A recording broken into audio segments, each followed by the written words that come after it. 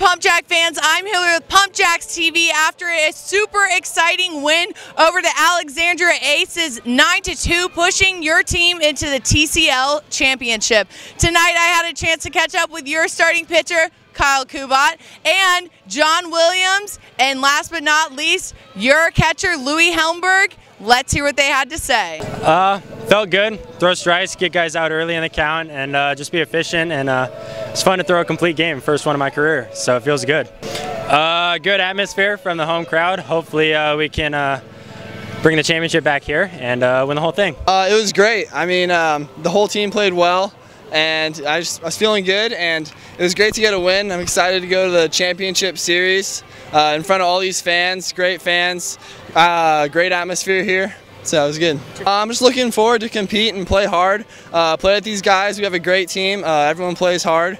So I think it'll be fun. Uh, I have a great host family here, and uh, it was good, uh, good stay here this summer. And I was very thankful to be able to play in front of uh, them and my dad, and I'm sure my mom Joanne and my sister Kelly are watching at home. Uh, well, you know, it's coming to be playoff time, and I mean, I just wanted to uh, do the best I could for the team, and I focused up. And, I did what I needed to do at, at certain points, and I mean, I, I, got it done for the team. I'm looking forward to win and just, you know, to make history for uh, the Pump Jacks and the fans. They deserve it just as well as we do. Well, Pump Jack fans, that's all your players had to say tonight. And don't forget, your Pump Jacks are in the TCL Championship Finals. Go to our Twitter to check out when the game is, check out Facebook, and go to pumpjacksbaseball.com.